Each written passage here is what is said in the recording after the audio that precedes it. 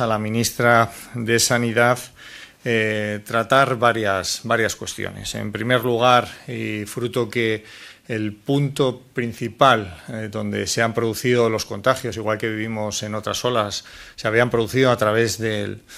del aeropuerto eh, Adolfo Suárez, del aeropuerto de Barajas. Habíamos pedido que, en primer lugar, a la ministra que tuviésemos para los viajeros que llegasen desde China una prueba de mm, diagnóstica de infección activa negativa en el momento en el que entrasen en, España. Esa fue una de las, de las medidas que le, que le, pedimos con ese incremento del control en el aeropuerto de Barajas, puesto que no ha existido durante mucho tiempo en, en, todos estos meses que, en el que nos ha tocado convivir con la pandemia. Y también pedíamos otro punto importante, que era la convocatoria de un consejo interterritorial con carácter urgente pues para determinar que, cómo se iba a realizar, eh, un poco que nos contase cuál era la situación, puesto que el Ministerio es el responsable de la sanidad exterior, de conocer cuál era la situación.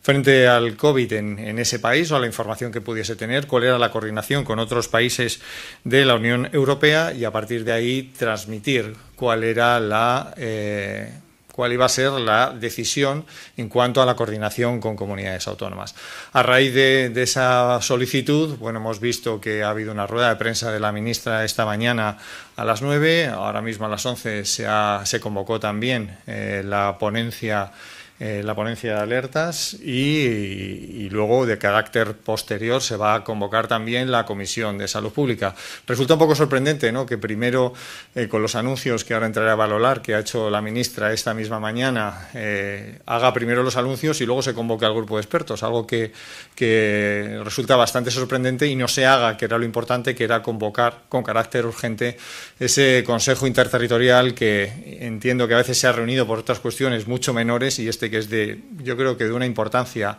eh, una importancia para todas las comunidades autónomas, pues no se haya eh, convocado. En cuanto a las medidas, bien, entendemos que es un paso, ¿no? El hecho de bien pedir el certificado de vacunación o bien pedir eh, la prueba eh, negativa eh,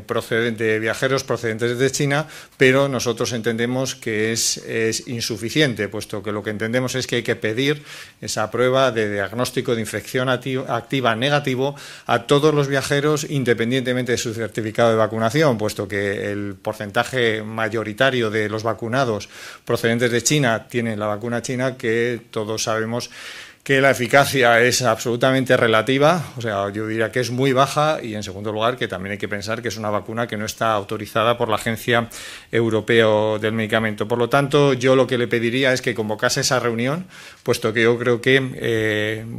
fruto de lo que he dicho anteriormente, sería importante eh, tener esa reunión, conocer la situación y tomar eh, las decisiones con las comunidades autónomas. Por este motivo, como ya bien anunció ayer la presidenta Isabel Díaz Ayuso,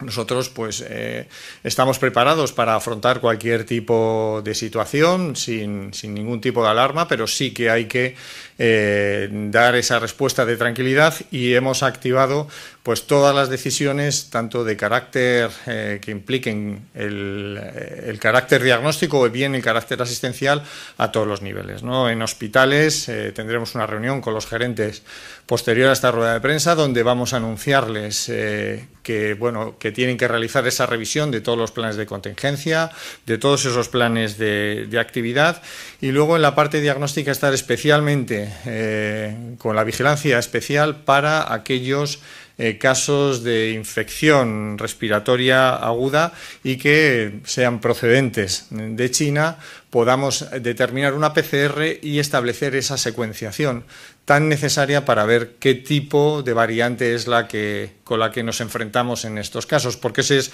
realmente uno de los, de los problemas fundamentales. Hay millones de casos en China, este virus muta con mucha facilidad y lo que tenemos que estar es muy atentos a cómo se comporta eh, en este caso en nuestra región, y a partir de ahí pues ver la capacidad, la cobertura vacunal que puede tener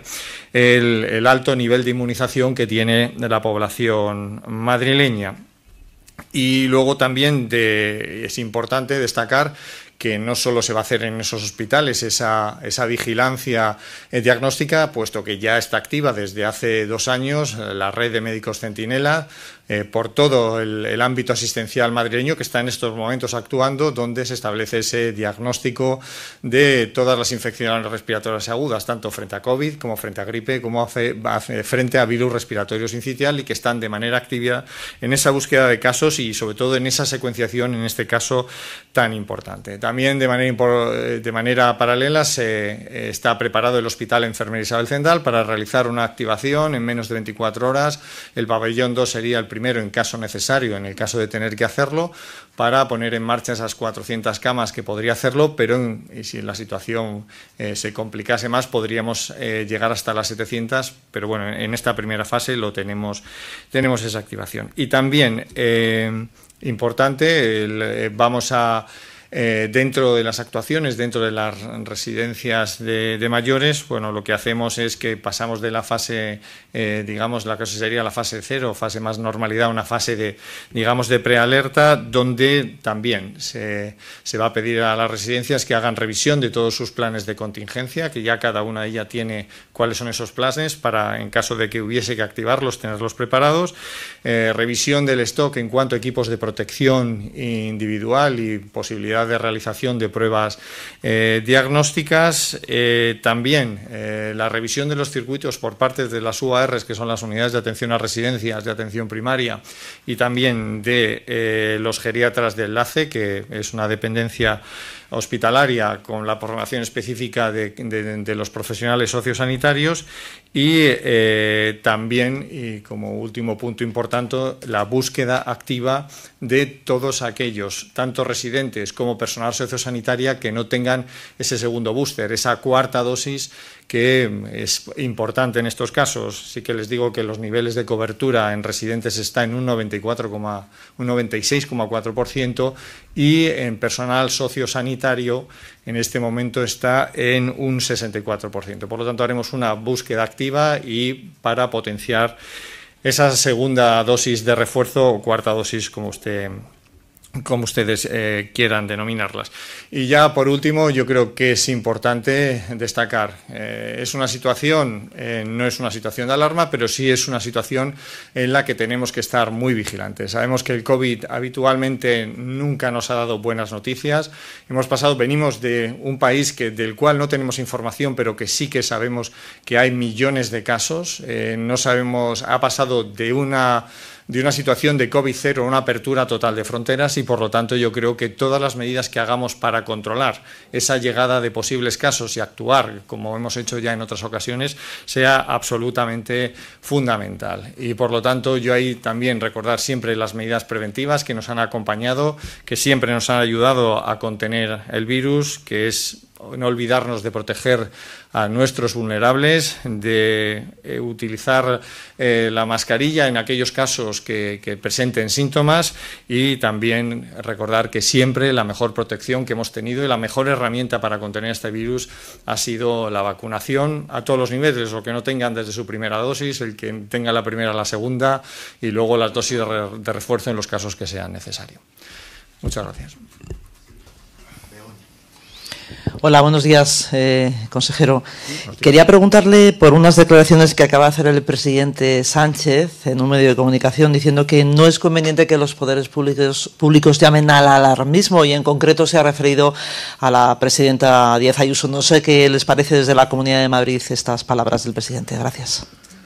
Bien, eh, en ningún caso la presidenta Isabel Díaz Ayuso ha, generado ningún tipo de alarma. Lo único que, bueno, como la reflexión que le he hecho anteriormente, tenemos una situación de, un país de, creo que son 1.300 millones de habitantes, habrán cifras hasta de 250 millones de contagiados, que ha pasado de una zona, de una situación de COVID cero. Y hemos visto que todos aquellos países o regiones que han utilizado esa estrategia han tenido un crecimiento exponencial en cuanto han abierto esas fronteras. Lógicamente lo han hecho, han hecho esa apertura. Vamos a comenzar, ya estamos recibiendo viajeros eh, dentro del aeropuerto Madrid-Barajas y desde luego que nuestra misión como administración, que tenemos responsabilidad eh, sobre la la salud pública y sobre la, mm, la, respuesta asistencial que tenemos que dar a los madrileños, por supuesto que tenemos que estar alerta. No hemos generado ningún tipo de alarma, pero Madrid está preparada para cualquier situación y lo he dicho con actuaciones a todos los niveles. Bueno, y no será tanta generar tanta alarma, pero bueno, la ministra ha salido esta mañana en una rueda de prensa, se ha convocado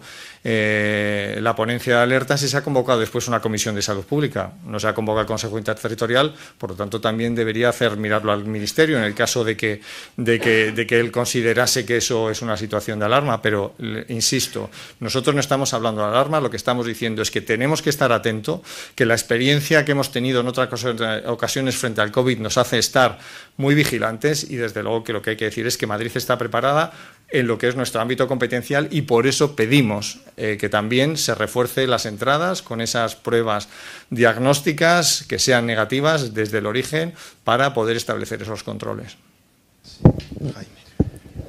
Hola, buenos días. Jaime Rull para las Sexta Noticias. Eh, quiero preguntarle, eh, ¿cree que esos eh, análisis, esos test, deben ampliarse a más vuelos que los procedentes de China? ¿Tiene que hacerse a todos los que ingresen a Madrid vía, vía aérea, vía aeropuerto de Barajas? Sí, bueno, no hablaba solo de, hablaba de los, de los vuelos de los viajeros que partían de origen en China. Es verdad que se hacen muchas escalas, unas vía Ámsterdam, otras, bueno, vía Milán o vías otros, otras capitales europeas y por lo tanto nosotros eh, eh, creemos que lo, responsable y lo conveniente es exigir esa prueba diagnóstica eh, de infección eh, de infección que sea negativa, establecerlo con todos los viajeros que llegan, aunque sea con distintas conexiones, que lleguen al aeropuerto de Madrid. O sea, yo creo que, que la situación es de, de donde venimos, es de, China, de donde viene es el, el, incremento tan exponencial que ha habido en el número de casos y yo creo que es importante saber en qué situación vienen esos viajeros y establecer las decisiones eh, que sean convenientes. Em, buenos días, consejero Carolina Moya de Madrid. Quería preguntarle si eh, nos ha dicho que ya están llegando viajeros chinos, si hay alguna constancia de que ya se haya registrado algún caso o han notado ustedes algún repunte de COVID en los hospitales de la Comunidad de Madrid. Y no sé si la Comunidad de Madrid va a aprovechar también para hacer un llamamiento. Hay mucha gente que no se ha puesto la tercera y la cuarta dosis, especialmente la cuarta. No sé si van a aprovechar para hacer un llamamiento a los madrileños para que acudan a vacunarse. Gracias. Bien, nosotros eh, ahora mismo tenemos activada nuestra red de, médicos centinela y bueno, esa instrucción que, se da a hospitales para que eh, con todos aquellos casos que sean COVID positivo, que dentro de su historia clínica relaten procedencia de vuelos o de, de actividad realizada en China, poder establecer esa PCR para esa secuenciación. Ahora mismo no se detecta un incremento, la situación epidemiológica en mayores de 60 está en 174 casos de incidencia acumulada a 14 días y de 78 a 7 días. Y el número de, de pacientes hospitalizados por COVID en nuestros hospitales es de 179 en planta y de exactamente 17 en UCI. Ahora la situación es de control, por eso nosotros no estamos eh, alarmando, pero sí que estamos diciendo que esta es la situación en la que partimos y que, insisto, tenemos que estar muy atentos a todo lo que, lo que va ocurriendo frente, eh, frente al COVID en, en nuestra región. Buenos días, ¿qué tal, consejero? Manuel Viejo, del diario El País. Eh, le quería preguntar que el, gurú sanitario Antonio Zapatero, el viceconsejero de Sanidad, ha llamado a la tranquilidad y de hecho ha afirmado que esta situación que se está viviendo en China no se parece en nada a la que se vivió en España. Ustedes, sin embargo, piden controles para todos en el aeropuerto, para todos los viajeros. ¿Esto no es contradictorio? Y en segundo lugar, le quería, quería preguntar también si se han contratado más sanitarios o tienen previsto contratar más sanitarios más allá de activar un protocolo en el hospital Isabel Central. Gracias. Bien, bueno, con el doctor Zapatero que, mantenemos eh, comunicación, diría que casi permanente, eh, lo que ha hecho, claro, la situación eh,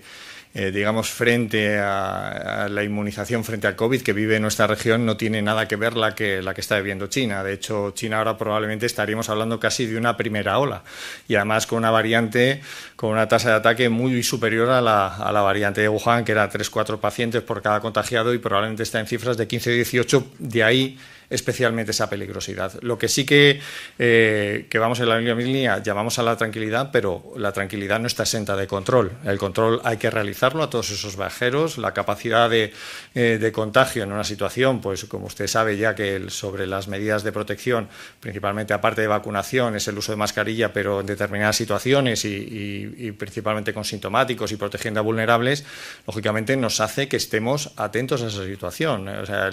eh, la situación de China, pues lógicamente con una vacuna con una eficacia de por debajo de un 50%, con una, eh, un porcentaje de vacunados mayores de 80, de, de población mayor bajísimo, y bueno, pues en una situación que viene, insisto, de COVID-0, apertura total, pues lógicamente las posibilidades de contagio que pueden tener esos viajeros son altas y nosotros tenemos que estar preparados, aunque insisto que el grado de inmunización que tienen los madrileños es muy elevado, tanto de inmunidad humoral como inmunidad celular. Pero bueno, en cualquier caso, que llamar a la tranquilidad eh, no significa que no tenga que uno estar exento de esos mecanismos de control que son tan necesarios y sobre todo en estas primeras fases y con lo que estamos conociendo las noticias que nos llegan desde China. Y luego, bueno, está activado el plan de invierno que ha, ha aumentado el número de contrataciones en cuanto especialmente servicios de urgencia y algunos eh, de hospitalización de diferentes profesiones sanitarias. Son 1.300 contratos eh, para adultos y en, en, población infantil un incremento que ya se hizo para bronquiolitis de 347 casos. Habrá que ir valorando la situación según el momento y a partir de ahí, pues eh, lógicamente tener esa respuesta asistencial que, que, merece en cada caso. Pero vamos a diagnosticar y saber que estamos preparados para, para esa respuesta. Buenos días, consejero Javier Carrera de la cadena SER Radio Madrid. Quería preguntarle, bueno, si nos puede detallar un poquito más ese protocolo en las residencias, por ejemplo, en cuanto a entradas, salidas de, de familiares, de acompañantes, en cuanto a pruebas diagnósticas a los residentes, derivaciones hospitalarias, etcétera. A ver si podría detallarlo un poquito más. Y luego, por otra parte, preguntarle, criticaba usted a, la ministra por, en fin, haber hecho una rueda de prensa informando de medidas sin haber convocado al Consejo Interterritorial. Quería preguntarle si ustedes informaron a la ministra y a otras comunidades ayer antes de, anunciar que iban a, reforzar el, control en las residencias y, y, en el Hospital Central. Gracias. Bien. Eh...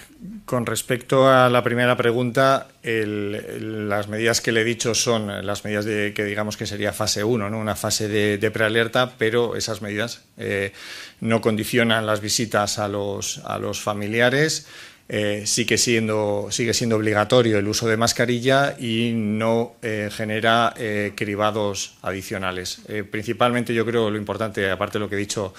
de la revisión de los planes de contingencia, de situación de los stocks, de actuaciones de las UARs y de los geriatras de enlace, y sobre todo búsqueda activa de, esas personas que no tengan esa segunda dosis de refuerzo. Yo creo que estas, sí que decir, las visitas se pueden realizar, hay que hacerlas con mascarilla y no va a haber cribados, eh, cribados activos. Y bien, nosotros estos son planes que forman parte de lo que hace la Comunidad de Madrid. Nosotros eh, vamos eh, activando según cómo vemos la situación epidemiológica en este caso. Nosotros, para esta activación, nosotros no tenemos por qué comunicar porque esto es una competencia que es nuestra y es una responsabilidad nuestra. Entonces, nosotros en este caso, bueno, son, digamos, protocolos de actuación que tenemos y que hemos contado y, y sobre todo, bueno, pues fruto de esa situación y con unos contagios que estamos viviendo en, en China, pues que, tenemos que estar preparados para, para cualquier posible contingencia, que esperemos que no sea así.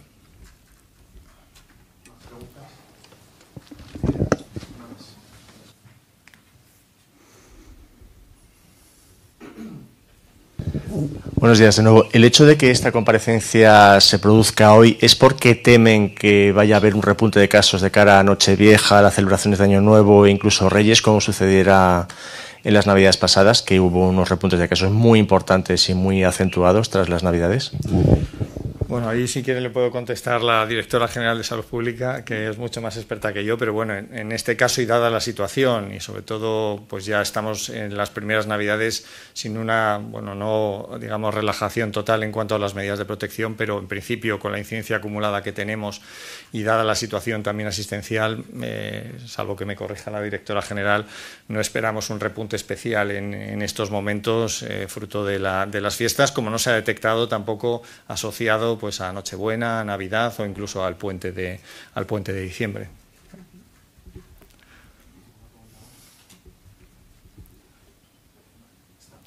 Muchas gracias y feliz año a todos.